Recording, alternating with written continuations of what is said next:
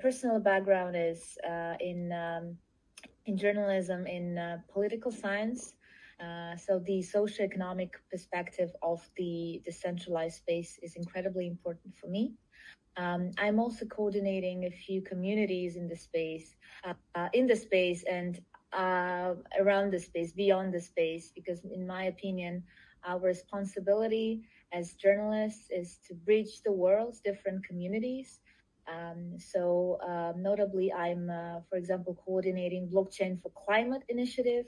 Um, I'm working also on a lot of uh, diversity and inclusion communities.